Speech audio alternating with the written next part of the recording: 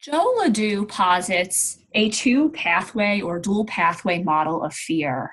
And he basically argues that there are two different pathways in the brain by which emotions can be processed.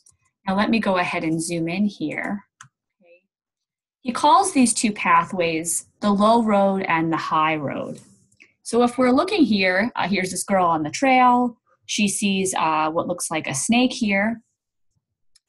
First, information, visual information, comes in through the eye, okay, and it goes directly to the amygdala.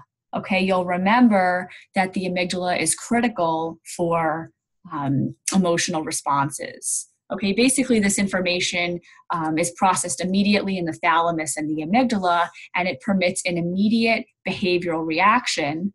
Okay, increase heart rate, increase blood blood pressure, and our muscles contract all of these are useful for mobilizing us to respond and avoid the threat. Okay, so this is the low road, bypassing the cortex. It's quick, it's fast, it's emotional, and it permits a fast adaptive response to the situation. Now, the higher road, okay, up here, um, this basically leads to the cerebral cortex, where the message can be interpreted more carefully and more in depth. Okay, we're able to more carefully evaluate what's going on.